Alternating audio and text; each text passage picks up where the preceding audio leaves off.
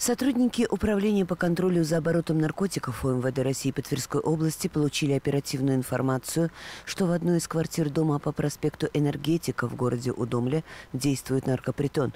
В ходе проверки полицейскими установлено, что 46-летний хозяин квартиры систематически за вознаграждение предоставлял свое жилище для употребления наркотиков. На момент визита оперативников хозяин квартиры и его гости находились в состоянии наркотического опьянения. Полицейскими изъяты одноразовые шприцы, упаковки от лекарственных препаратов, предметы, используемые для употребления наркотических средств с остатками вещества. Подозреваемый пояснил, что предоставлял свою квартиру малознакомым в обмен на наркотики, которые те приносили с собой. В отношении фигуранта возбуждено уголовное дело по части 2 статьи 232 Уголовного кодекса «Организация либо содержание притонов или систематическое предоставление помещений для потребления наркотических средств, психотропных веществ или их аналогов. Максимальная санкция статьи предусматривает до 6 лет лишения свободы.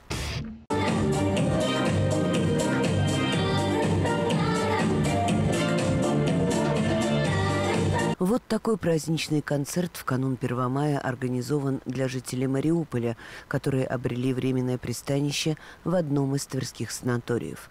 Концерт посетили и представители регионального следственного комитета. По поручению председателя СК России следователи в регионах продолжают сбор и фиксацию доказательств совершения преступлений против мира и безопасности человечества на территории Украины. Донецкой и Луганской народных республик. Тверские следователи уже провели ряд допросов жителей Мариуполя, а на этот концерт пришли в качестве зрителей, тем более что среди участников программы дочь одной из сотрудниц Следственного управления СК.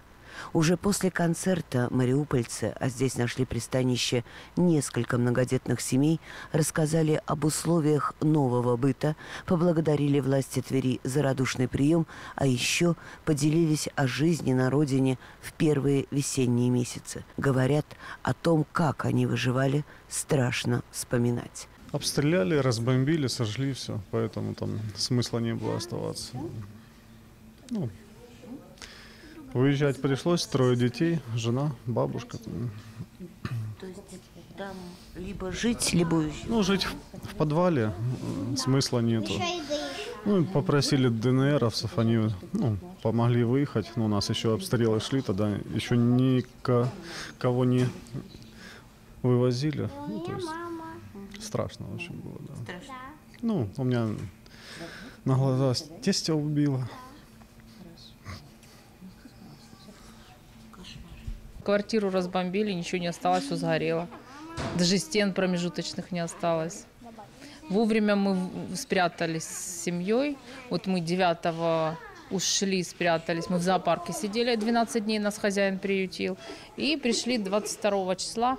Соседи вышли, сказали, украинцы отступали, развернули башню э, танка и полностью спалили полдома. Азов начал обстреливать вот с первого числа где-то до ну, как нас освободили, где-то 19-20 армия, ну, РФ, ДНР вошли к нам.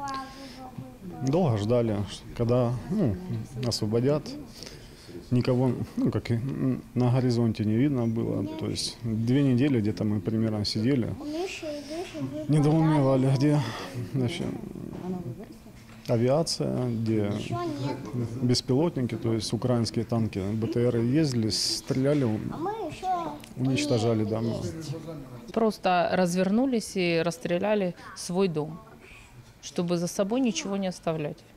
Трупы на улицах лежат, сам тестя закапывал, ну, то есть никто не занимался этим. Надеюсь, сейчас там кто-то наконец-то делает. В следующих выпусках патрульной службы мы продолжим знакомить вас с рассказами очевидцев, переживших ужас зверств вооруженных сил Украины.